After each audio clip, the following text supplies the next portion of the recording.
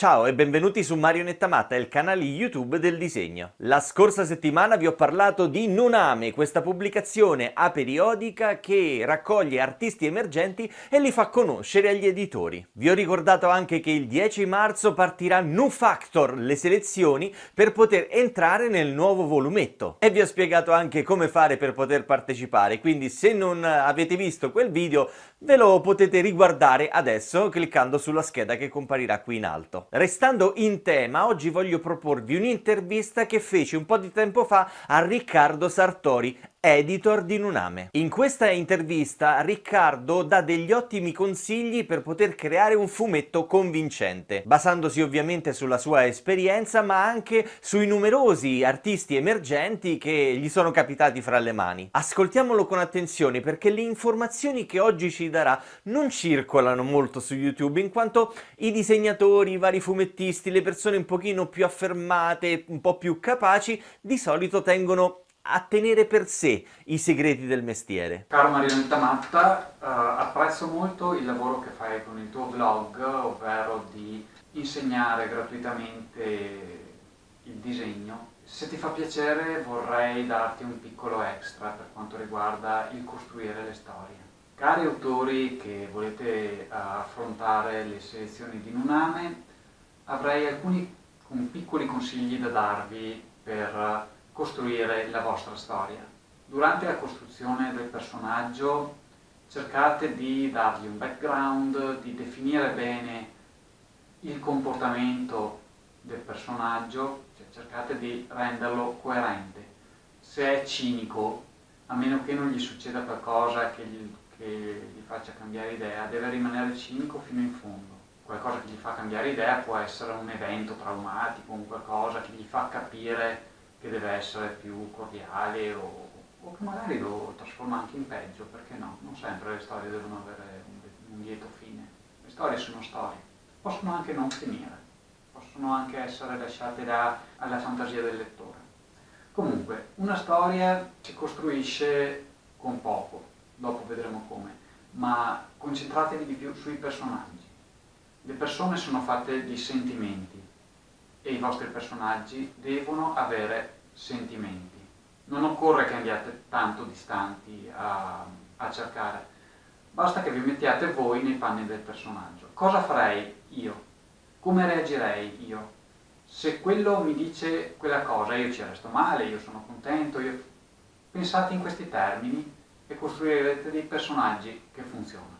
Per quanto riguarda la storia invece ci sono alcuni piccoli potrei mostrarvi uno schemino e vado a spiegarvi punto per punto. Primo punto, personaggio che fa cose, ovvero voi dovete cominciare la storia presentando il vostro personaggio. Può essere un eroe, può essere lo sfigato di turno, può essere chiunque.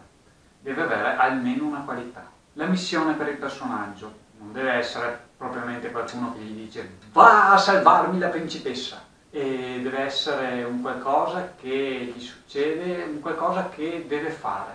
Può essere anche l'esame di maturità, che abbia paura di affrontarlo, che ne so. Qualunque cosa, qualunque cosa vi venga in mente. Il personaggio ha difficoltà, ovvero il personaggio si interroga, ma io sono capace di affrontare questa sfida, mi sembra più grande di me, non so se sono in grado, non so. Deve avere un momento di difficoltà. Perché? Perché il personaggio, punto 4, deve intraprendere il suo viaggio di crescita, ovvero deve cercare un modo per affrontare la sua difficoltà.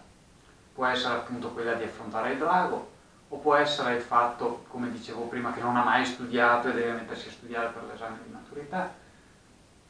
Può anche dover costruire un aereo di carta per il suo nipotino che gliel'ha chiesto e lui non ha mai costruito aerei di carta. Qualunque cosa, per uh, imparare a fare quella cosa deve o mettersi a fare delle ricerche, può incontrare degli amici o delle persone che gli fanno imparare quello che deve fare o comunque gli danno un input per capire come deve procedere. Insomma, il personaggio deve crescere in qualche modo in modo che, punto 5, possa affrontare la sua missione. Lui trova il coraggio, trova la motivazione se non ce l'aveva, trova qualcosa che gli dice ok, facciamo questa cosa e la fa. Punto 6. Se la fa, non ce la fa, chi se ne importa? La storia è vostra, lo decidete voi.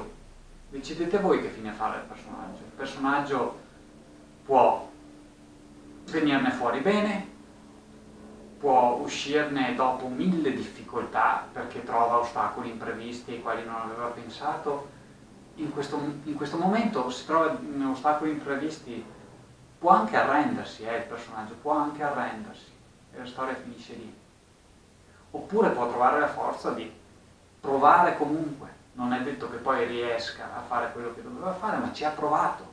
E infine, punto 7, la conclusione, ovvero un qualcosa che o concluda effettivamente il racconto, ovvero il personaggio che fa una cosa come dire ok ce l'ho fatta, non ce l'ho fatta, dovrò impegnarmi di più, il personaggio può, come dicevo prima, può anche morire, che ne so, io li faccio sempre finire male le mie storie. Uh, oppure mh, mm, può uh, succedere qualcosa che lascia in sospeso il lettore, che dice, cavolo, e adesso però non viene spiegato, in ogni caso lui la sua storia l'ha compiuta, quello che doveva fare l'aveva fatto. Se anche lasciate un pezzo in sospeso, può essere sia una conclusione che lascia al lettore uh, la fantasia di pensare a quello che può venire dopo, ma può anche essere un punto aperto per continuare con la storia successivamente. L'intervista finisce qui, ringrazio di cuore Riccardo Sartori per essersi prestato a darci questi consigli davvero utili. Ora siete davvero pronti per poter partecipare alle selezioni Nu Factor. Io ovviamente tifo per voi e speriamo che l'anno prossimo, quando andrò a comprare il nuovo Nuname, troverò proprio uno di voi all'interno del volumetto. Ora possiamo passare alla seconda parte di questo video, ovvero al lancio del contest di disegno della settimana.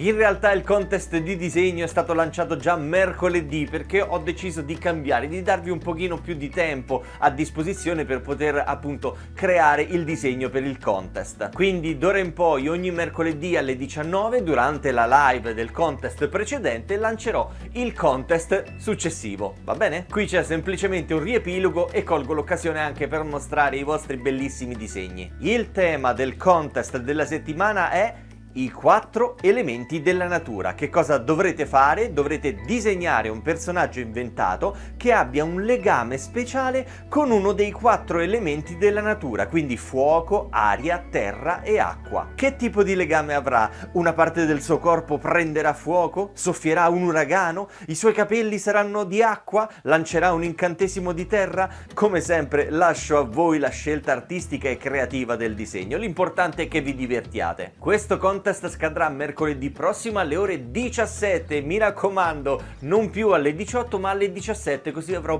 un po' più di tempo per poter organizzare la live. Non mi rimane che salutarvi e rimandarvi al prossimo video. Ragazzi, buon weekend e ci vediamo la prossima settimana. Un bacio a tutti i matti del mondo.